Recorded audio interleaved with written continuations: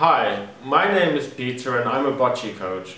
Today I will be showing you a couple of boccia skills exercises which you can complete from the comfort of your own home. I hope you have as much fun completing these as I have had recording them. Hi guys, I will be showing you what materials you require to play boccia at home. We will first start off with boccia balls. If you haven't got any boccia balls, you may use socks which you rolled up into a ball and so can throw and or roll to achieve the same results as using a ball. Then you will need a couple of cones. I have cones in various colours and these are quite small. You can purchase them online. If you haven't got any cones, you may use water bottles. Filled with water, they will provide much more stability. However, if you also want to have a bit of a further challenge, you may use empty water bottles. For targets, you may use kitchen towel or toilet tissue. Alternatively, for a further challenge, you may use small plates or these cones which are, which are used in soccer practice. Those are, all the those are all the materials you require to play boccia at home. Hi guys, this is a boccia skills alternate video.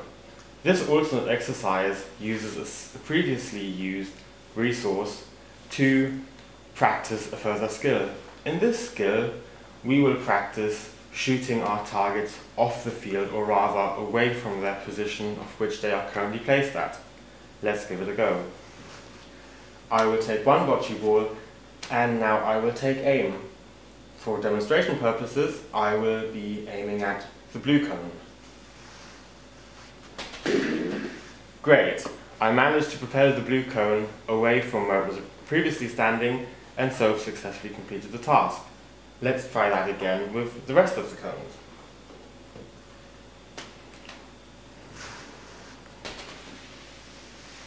Okay, that was a near miss. Let's try that again. Awesome.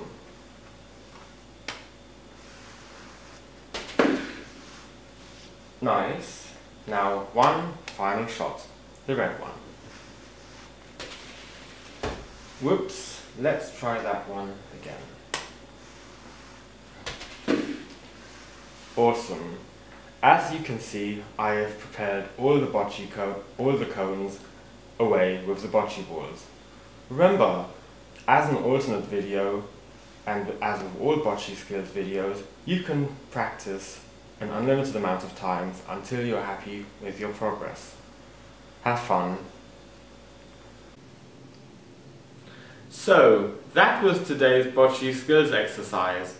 I hope you had fun completing them, and I look forward to seeing the results of your practice very soon.